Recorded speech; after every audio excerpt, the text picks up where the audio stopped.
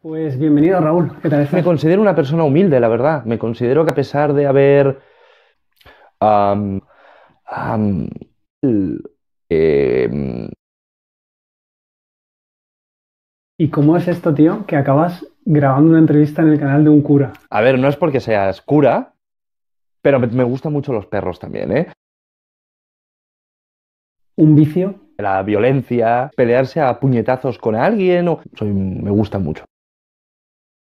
¿Un recuerdo de tu infancia?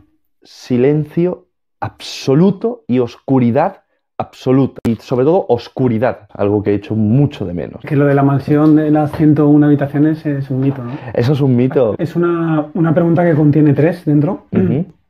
Si el Vaticano nos invitará a un grupo de youtubers. Soy de perdonar fácilmente. La verdad, no soy rencoroso y soy muy de, de evitar conflictos. Nos invitará a un grupo de youtubers, youtubers a charlar con el Papa. Esto además ocurrió Cuesta 2000. mucho hacerme reír, ¿eh? Es decir, yo si veo un vídeo ridículo, pues me puedo reír, ¿sabes? Pero tener a alguien al lado y que me haga reír cuesta, ¿eh? Una pregunta para la que busca respuesta. Mm, Badalona. Termina esta frase. Me arrepiento de... Visitar iglesias, el Vaticano, he estado varias veces. Me arrepiento de eso, ¿no? Sí, sí, sin lugar a dudas. Si te digo el Rubius huele a... Yo creo que el Rubius debe oler a perro. Sí, sí, sin lugar a dudas. Sin lugar a dudas. Dross suena a... Patatas bravas de Badalona, con alioli. ¿Te gusta mucho Dross? Lo has dicho alguna vez, ¿no? O sea, Mm, Pues no lo sé, es una buena pregunta, la verdad.